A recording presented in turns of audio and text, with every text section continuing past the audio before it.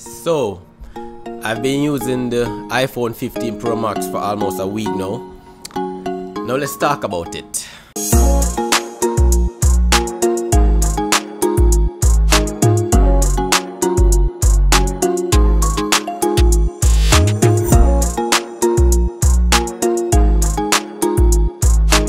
So the iPhone 15 Pro Max, great phone. So as the iPhone 14 Pro Max, great phone. What's the difference? I'm gonna talk about some key differences that I see, but in many ways, these phones are very similar. And I'm gonna give you a difference and a breakdown of does it worth the upgrade? Does the 15 Pro Max worth the upgrade in the long run? Um, we're gonna get into that let's talk about the 15 Pro Max.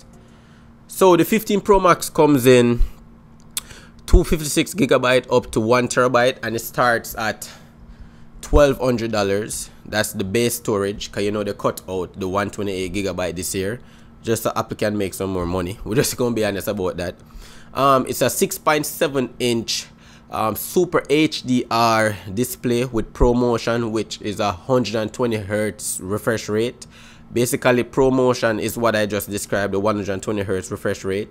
It basically goes up and down depending on how you use the phone. So if you're going through like intense type of like like maybe social media or scrolling or searching whatever thing that you're going through on your phone depending on what the display requires for a hit to move that's the hertz you're gonna get.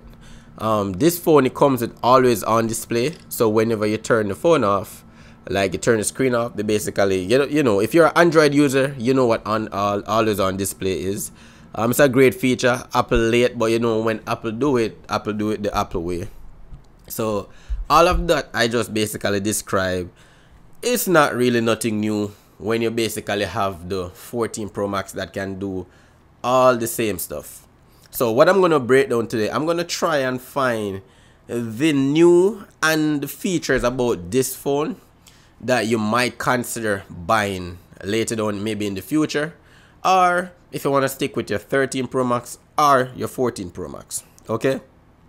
So I'm gonna get into one of the new features that comes with the phone which is the titanium. The titanium build it's a bit lighter. I can definitely feel the difference because I have it in the case now and, and I'm not gonna lie this is a lightweight case as well the FineWoven case. By the way look out for that video within the next two months. I'm doing a durability test to see how durable the FineWoven case is. So make sure you guys check that one out soon whenever I drop it.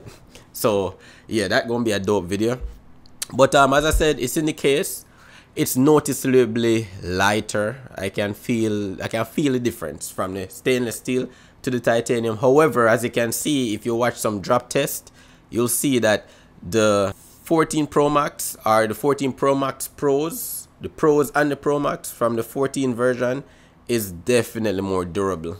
I'm not gonna lie about that. I have to be honest about it. I saw some videos and saw some drop test and the 14 Pros basically hold up way better than the 15 Pros. Um, the action button. The action button is a new feature that Apple added to the new 15 um, lineup the Pros lineup, the 15 Pro, the 15 Pro Max. What the action button does, it's basically similar to the mute switcher with a bit key differences. So what you can do with the action button is you can basically go to settings, you'll go to action button and you get like a wide range list of options what you can use to do with the action button. You can use the action button to open for example the flashlight. What you do you, you hold down on the action button for like a quick mm, two second a millisecond. Then you're gonna pop the flashlight um, on. Or you can hold it again to turn it off. You can use the the action button to basically open like um, voice memos. If you want to record voice memo right off the get we don't have to jump in into the app. It'll record it right from the action button.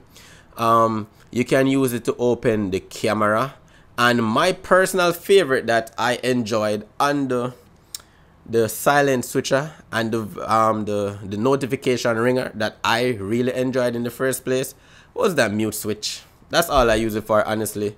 Like I don't really care about too much about it opening the camera the camera is right there on the front of the screen right there that I can just pop open. So I, that's not necessary for me. I wouldn't say the flashlight the flashlight is also on the corner of the screen for me. So it's convenient. Or I can do this. I can back tap and then back tap again. Should turn it off. I know when I turn off. I Apple are trolling me right now. But anyways I can turn it off from here. But you get the point. You basically you back tap you turn it on. You back tap there we go you turn it off. So those are some features that you can already do by yourself even with your 14 pro max.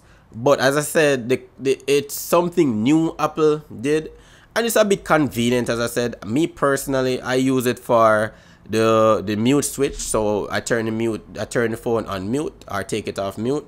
And for me i do like the haptic. It it, it, it is like it has like a nice to like a feel to it. You'd have to have it in your hand to see what I'm talking about. Um, it's dope though. As I mentioned before, it's a 6.7 inch display, so it's a big a big display.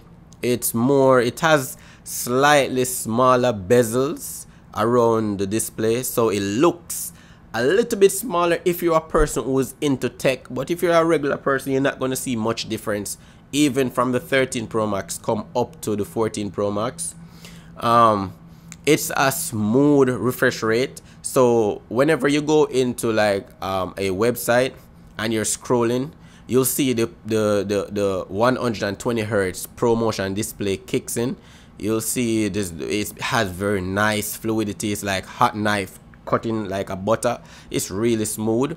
So that's the purpose of the 120 hertz display. And you know apple phones are already uppity fast so just imagine the speed of an Apple phone with that refresh rate as well. Oh, you know what I mean? You get a super beast right there. But as I said, most of what I'm talking about, you can actually also get it, believe it or not, in the 13 Pro Max and in the 14 Pro Max. But I'm going to give you like a key difference that's what make the 15 Pro Max a little bit better and why you can consider if you're coming from maybe like a older phone right? Because we have to like break down the big differences with the display and all of that. As i said nice lightweight phone. When i'm out there in the public and i'm holding it it doesn't feel like i'm getting any strain on my hands. Um i can hold it for like long periods of time. It's not like when i had the 14 pro max i have to like put it on a little bit. It does get a little bit heavier after a while but you know it does hold up. It's not a bad phone to basically hold you know. Um, the display can go up to the brightness of the display is, honestly the same brightness as last year. So it's the same display same brightness which you can go up to 2000 nits outside which is fucking ridiculous. Up to 2000 nitage of brightness stagnation. Like me jesus how much brightness you want on a phone and why I say that is, as you can see, when you're outside in direct sunlight, it seems as if like you're not even in sunlight. That's how bright the display is. It's super bright and you can see all your text correctly. You can see whether whenever you're scrolling, whatever you're doing, it's uppity. Now, the dynamic island you have the dynamic island where you can basically you can use the dynamic island to open the music you can play the music swipe up over you're gonna see the little um, animation where pops back up in the dynamic island. You can hold down on that dynamic island. You can see the music that you're playing. You can use the island to open up maps and a lot of range of different stuff which you guessed it you can also use it on the 14 pro max. So as you can see, while I'm basically giving you the review of the 15 Pro Max, you're telling yourself like there's not much difference within the phone, right? But there's a slight difference when it comes on to the processor, which is a A17 Pro Bionic chip, that's what they call it, comparing to the A16 Bionic chip of last year.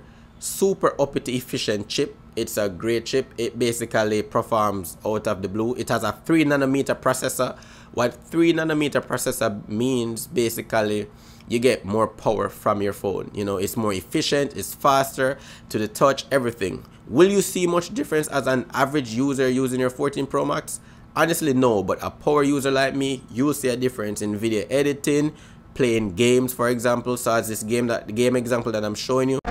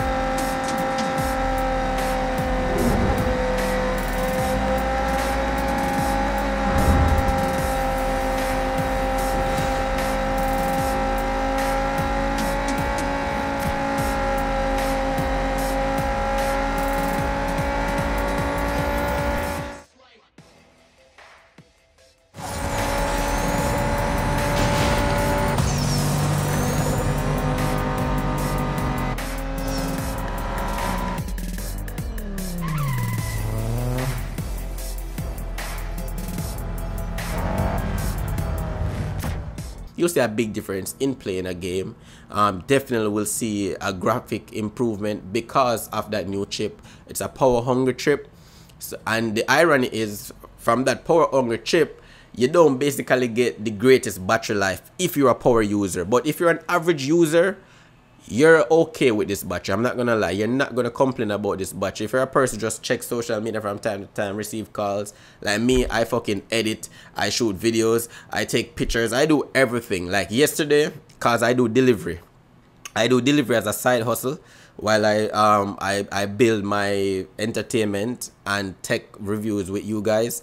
So while I'm doing delivery, this phone never turns off. Never turns off, bro. Yesterday I had the phone on for like five hours straight. Not off. I charged up to 70%. Within five hours, it was like 22%. Bro, that's uppity. I'm not gonna lie, that's fucking uppity. Cause I'm comparing to a person who has their phone off, just take a call, check social media. The battery obviously gonna last them longer. But for person for a person like me or other tech people out there who does tech or use their phone like very hard and efficient, we want a bit more.